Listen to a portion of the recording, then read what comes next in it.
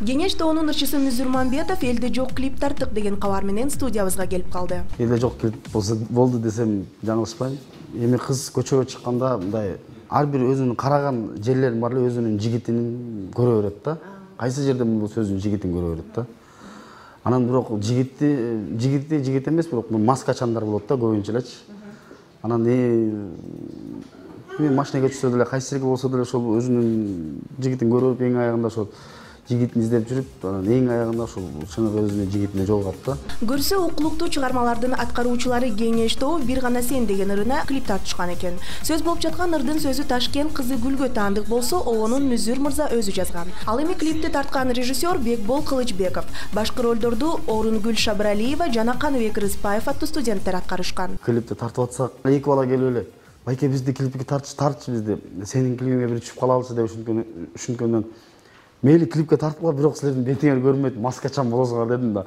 Бирок аябай бирок отурган жерде эме болуп кетчү да мейли эми маскачан болсок да түшүп берели сиз байке жагасыз бизге жагасыз деп анан тартылып беришти да эки миң эле ютуб салдык жалпысынан бюджети беш жүз долларга эле тартылды анан эң кымбат клибиңиз эң арзан клибиңизди эстете аласызбы эң кымбат клибим нике кайып менен эк сулуу кыз анан ханышам болгон канча болду ар бирибиз үч миң доллардан тартылган ал эми эң арзан дегениңизчи?